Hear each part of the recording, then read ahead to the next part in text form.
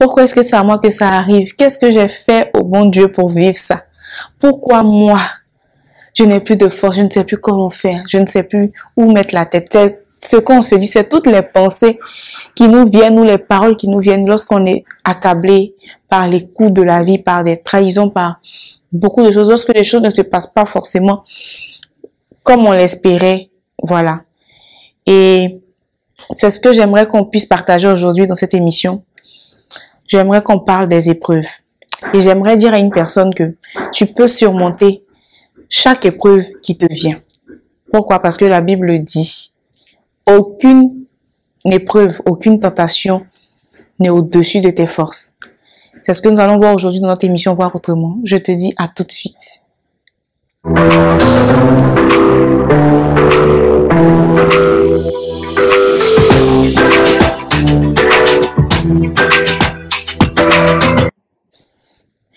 Hello tout le monde, je suis Virginie Kofi, coach chrétien et motivatrice et je vous souhaite la bienvenue dans cette émission Voir autrement.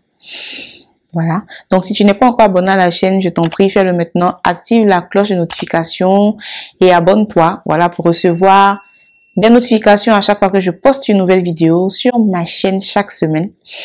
Donc, aujourd'hui, j'aimerais t'encourager.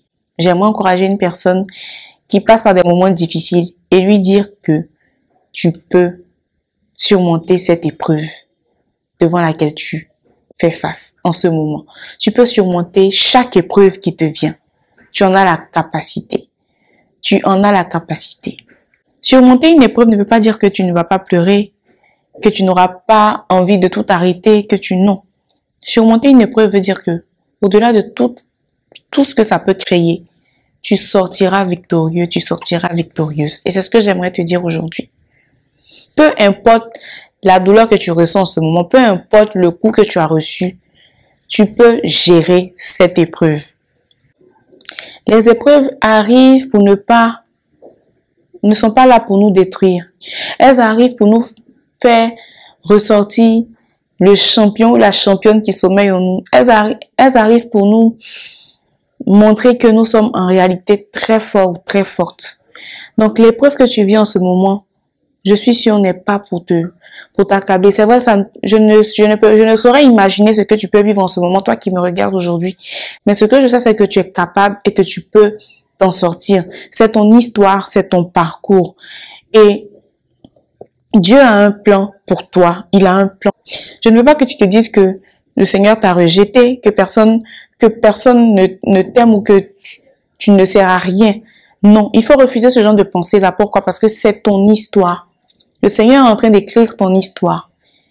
Si tu es censé, toi, être une personne d'impact, qui, au travers de laquelle des personnes vont se reconnaître, une personne ressource, une personne modèle, il faudrait que tu puisses vivre des choses qui vont te permettre de pouvoir réellement comprendre les autres lorsque tu seras, lorsque tu sortiras de là.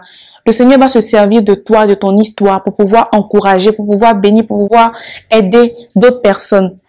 Donc, ma prière pour toi aujourd'hui, c'est que le Seigneur puisse t'aider.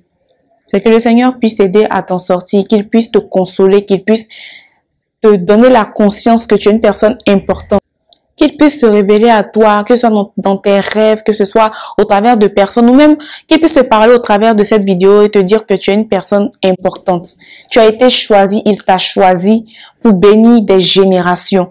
Donc, ce que tu vis aujourd'hui n'est pas une fin en soi. Il va te sortir de là, mais seulement, il faudrait que toi, à ton niveau, tu puisses t'en remettre à lui. Il faudrait que tu lui fasses confiance. Il faudrait que tu puisses même quand tu pleures, pleurer sur lui, pas pleurer de désespoir au point de vouloir mettre fin à tes jours, au point de vouloir te retirer de tout, mais il faudrait que tu puisses lui demander de te donner la force que tu n'as pas, le courage que tu n'as pas, pour que tu puisses te relever et t'en sortir. Donc c'est vraiment ce que je voulais partager avec toi aujourd'hui. J'espère que cette vidéo-là te fera du bien.